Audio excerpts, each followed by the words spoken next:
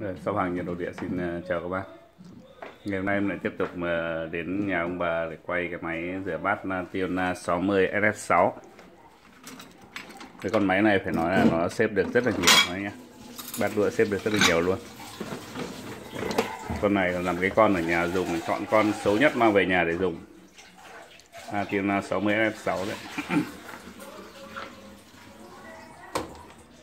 thì nhiều bác cứ bảo là máy rửa bát dùng thì là cứ phải là tráng hay là thế này thế nọ mất công. Nhưng em thấy nó cũng có cái gì đâu ạ.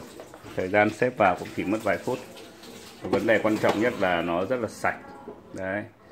Nhà khoảng nhà có khoảng ờ, tám mười ngàn thôi nhé hai bốn sáu tám mười mười hai mười bốn. mười bốn cái bát con. Sáu cái đĩa bốn cái đĩa. Bát ô tô bát nhựa các kiểu thìa đũa. Được cái là cái thằng uh, Nationa này cái khoảng cách từ đế của giá thứ nhất lên giá thứ hai nó rất là xa. Cho nên mình hoàn toàn có thể đút được những cái đũa của Việt Nam mình nó dài 20 phân. Đấy. Yeah. Toàn bộ rất là mỡ màng luôn.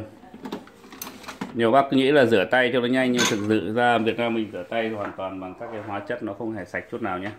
Đấy rửa máy ngoài yếu tố là rửa sạch. Nó còn diệt khuẩn. Giữ khô bắt đũa, sấy khô, rửa xong rồi sấy khô kinh kít luôn. Đây, em sẽ bấm cho cái máy này nó bắt đầu vận hành.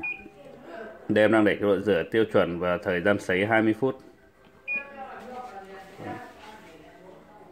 Đây là một cái con Tiona 60 SS6 có khử khuẩn bằng tia cực tím. Khử khuẩn bằng tia cực tím thôi nhé khi mà cấp nước xong vào thì đèn cực tím này sẽ bắt đầu là phát sáng. Chung máy rửa bát nhật này rửa thì rất là kinh tế. Mỗi lần rửa thì không đáng bao điện cả, nở hơn nửa số điện tí thôi 11 lít nước. Xếp vào rất đơn giản, gọn gàng. Nhà khoan là từ 6 đến 8 người ăn xếp thoải mái nhé. Trừ kiên cỗ thì chịu thôi, chứ còn nếu mà bình thường rửa gia đình thì máy nhật này nó rất phù hợp, thiết kế gọn nhẹ đấy bắt đầu nó bật từ tím rồi. Một con Nationa 60S6 đấy. những con này những cái con mà đẹp thì ở shop em đang bán là 3 triệu 8 còn những con là hình thức mà xấu hơn thì có thể 3 triệu 3 triệu tí. Tùy vào từng uh, hình thức. Đấy, con này là con xấu mang về nhà. Về nhà cứ bán thì đâm ra những cái đồ xấu lại dùng. Đấy, sau khi mà nó tia cực tím khử khuẩn xong thì nó sẽ phun. Trong quá trình này thì đang đun nước và nó sẽ khử khuẩn bằng hơi nước, bằng phun xương. Các bác nào có nhu cầu mua máy rửa bát cho vợ con thì cứ yên tâm mà mua nhé máy nhật này rất là bền. Chào các bác.